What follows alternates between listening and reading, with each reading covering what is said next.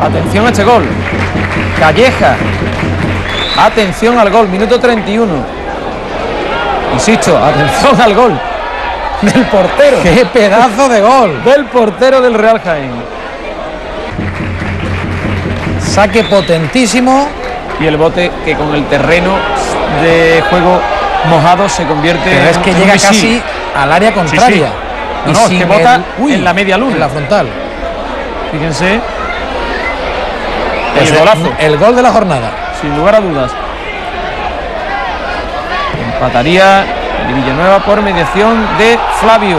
Ahí también el bote le hace prácticamente imposible la intervención a Calleja.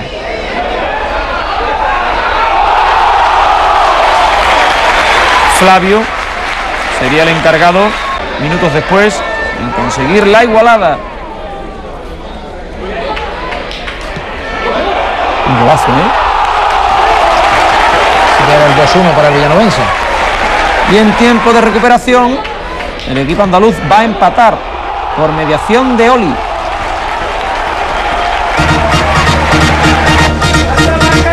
Ahí está el córner, el despeje, el disparo, los rechaces variados y a costa de insistir, eso es indudable, el Jaén lograba el empate.